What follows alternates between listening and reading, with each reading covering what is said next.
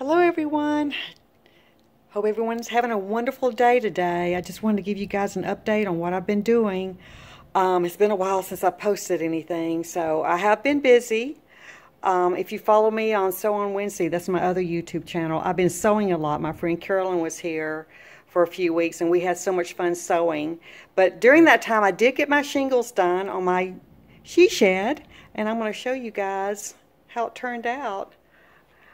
I think they turned out pretty good. It took me a while to do it. Boy, what a job that is. But hey, it's worth it. It's really cute.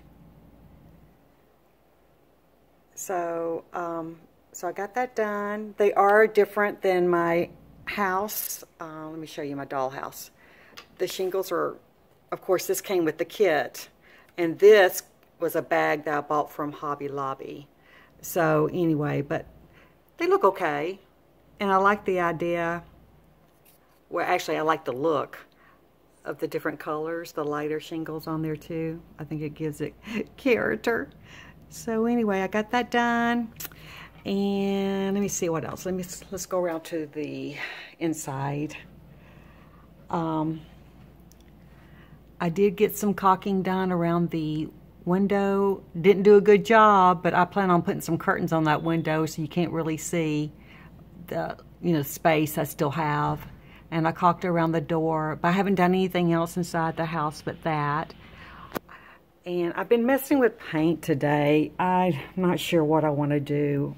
Um, I painted it the color of the outside of my dollhouse, which I still had that color. Where is it at? Um, it's like a it's Cascade beige and I painted painted it that color and then I thought well do I like it that color? And I started getting white acrylic paint and I started dabbing it all over it and I'm thinking well do I like that? So I'm still playing around.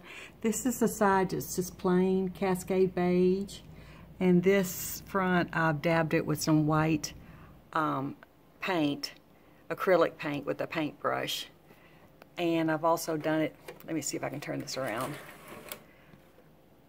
to this side. So I'm not sure what I like, plain beige or, or white. So anyway, and I've been playing around with the blue um, trim too. I painted it blue and I dabbed it with white paint too. So you ask, what are you doing? I'm not sure what I'm doing, but I'm having fun doing it. So anyway, no telling how this is going to look the next time I do my video on my she shed.